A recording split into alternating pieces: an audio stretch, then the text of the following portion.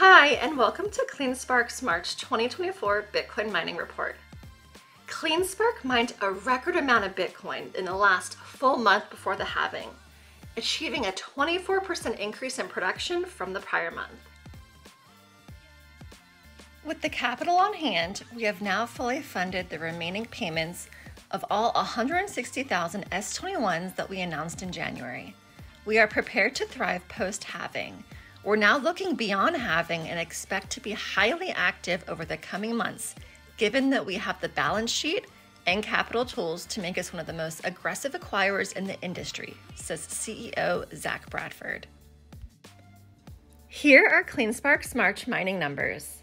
806, our monthly Bitcoin production, 5,021, our Bitcoin holdings, 16.4 exahashes per second, our current hash rate, 24.63 joules per terahash, our month end fleet efficiency, 133,963, our deployed fleet of latest generation Bitcoin miners. Be sure to subscribe and follow us on our other social media channels, which you can find below. We value your thoughts, so please leave us a question for the chance to win some CleanSpark swag.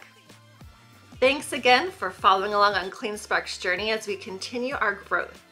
Keep calm and hash on.